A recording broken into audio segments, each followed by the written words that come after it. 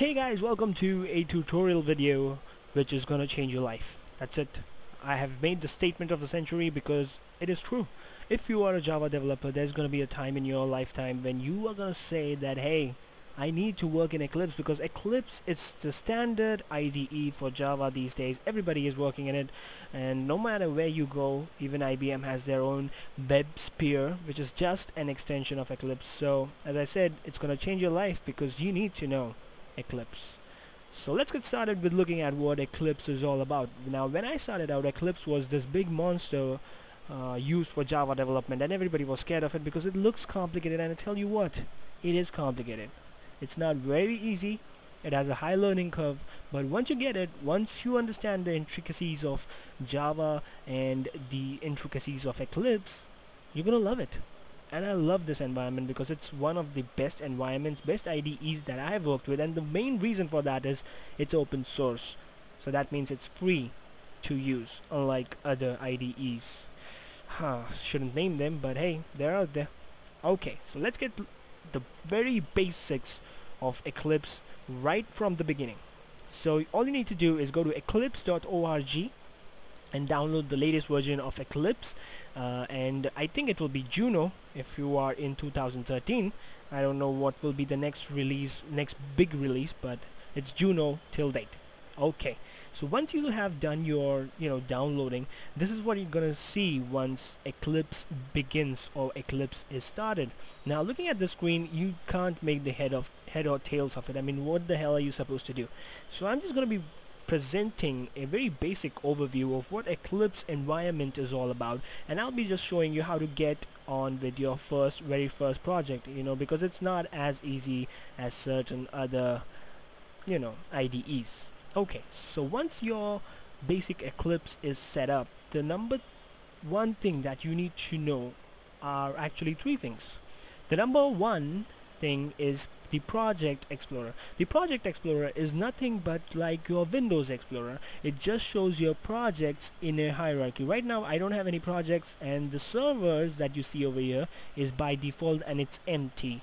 So I'll be just getting back to it in just one minute but the project explorer can show you all your projects in a very familiar windows hierarchy sort of style and it you know it displays it so it has that ability where you can link the web page that you're developing or any page that you're developing with your project and so on and so forth. So it has certain properties of its own and it is interesting on its own so let's have a look at the second thing that you need to know. The second thing is this particular panel over here.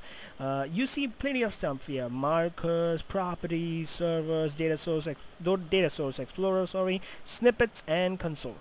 Two things over here are of vital importance. Number one is servers. As you can see, we have no servers right now installed. That is why this server folder is also empty and the number two thing in this is the console. The console is going to be your friend because the console is going to give you vital information about the server that is running and the applications that are running on that particular server. So you can have a lot of information that is being dished out on the console which shows you the status and certain vital information about your applications and your servers. So that's two things that we have spoken about. The number three thing is right now empty. This this big panel over here this big panel is going to show you uh, the actual workspace the actual page that you're going to code and uh, it's going to be your coding page. So these are the three things that you need to know of the uh, very start or very beginning of your Eclipse development uh, you know journey okay so the number one thing that you do once your Eclipse is installed is because uh, you're going to be working with a lot of web applications for Java that is enterprise applications or you know a big dynamic web project. Uh, the number one thing that you should do after installing Eclipse is come over here in the servers tab in this particular panel and just click on new server visit. Now you'll get a lot of options over here which will be really confusing if you're an absolute beginner. But the number one thing that you need to know over here is that these are just providers of servers which run on Eclipse. So Apache is like the most famous one. You must have heard this name if you're a Java developer I am sure that you have heard about Apache. Apache will provide you the server environment while Tomcat is the actual server. So as you'll see there are a lot of versions over here of Tomcat. Obviously you go for the largest one and the next thing that you need, need to know is the basic. Basic will provide you with a enterprise edition preview server which is not really an actual I would say server that will just provide you with a preview of stuff. IBM has its own obviously WebSphere as I've said before and they also have their own environment for WebSphere known as RAD which is not so rad actually.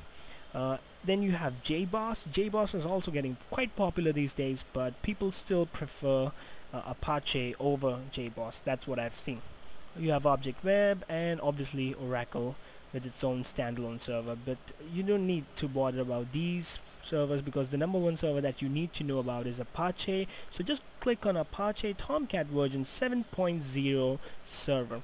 Now the th two things that you need to know. Um, once you click on next if you don't have apache tomcat installed pre-installed it will give you a prompt that Apache Tomcat is not installed it cannot find its environment and all you need to do is just click on download and install. You'll get an option just download it and install it. That's it. Finish.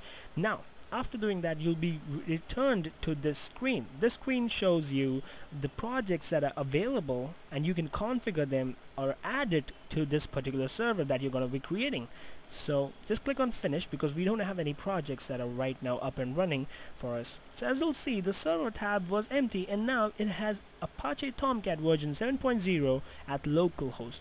And now I'll just tell you one thing. You can create multiple instances of multiple servers and all of them will be running on this particular tab over here in the servers tab.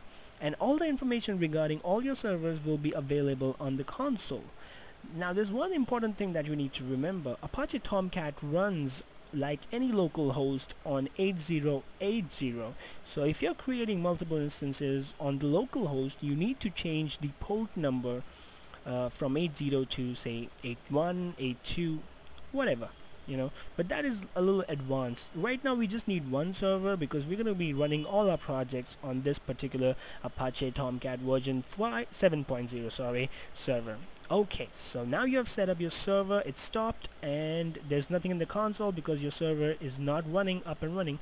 So what you need to do is now you will be creating a dummy project. So all you need to do is right click on the project explorer or you can just go to project and you cannot go to projects I'm sorry. You can go to new and file new and you can go to project now you get a lot of options over here but the most basic of options obviously is going to be in the web dynamic web project. Everybody everybody everybody I think 99% of the people are working on dynamic web projects. Obviously there are a lot of project options that you get with the modern day Eclipse but dynamic web project is the most uh, you know most used I would say. Just click on next. Now you'll get a project name. So I'll just put it as test test underscore YouTube. Why not? So we have a project called test underscore YouTube.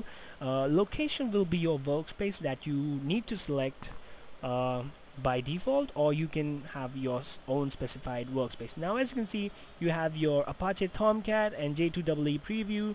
And even if you want to create a new environment just click on new runtime.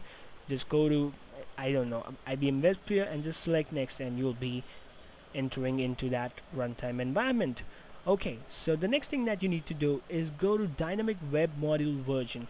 Always select the highest one because obviously higher is better and you'll be seeing here the options that you'll be having as to what your configuration needs to be for that particular project and I always go with Apache default configuration because um, at mid-level projects you don't need to configure the server environment for the particular project. It's it's when you need to go into really big projects that you need your own kind of uh, customized uh, you know environment or configurations. If you are developing a JSF project then you can go with Java Server Faces version 2.1 and obviously you have your minimal configuration. So we'll go with default configuration for Apache Tomcat version 7.0 click on next and you will see you have your source folder. I'll be talking about this in the new video what all this is all about. Just click on next and click on finish. And as you'll see your test YouTube is ready over here. This is your entire project and obviously I think this demands a new video regarding how you know how your project is built what is the project uh, build structure what is all this what is all these folders and how do you create you know web pages in it and so on and so forth. So you have your project you have your server ready and you're good to go so the options to run this project are plentiful but I guess that's in a new video would be more appropriate. So this was a basic overview of what the Eclipse environment is all about. And in the next video we'll be talking about how to create your very own project and then we'll be showing you how to create some pages in it and database connectivity. So thank you for watching. If you did like my videos please leave a comment likes share your, this video with your friends and obviously you can obviously subscribe to my channel which is why this tutorial now where we'll be posting many more tutorial videos which will be helping you become becoming a better programmer maybe just like me. So thank you for watching and have a great time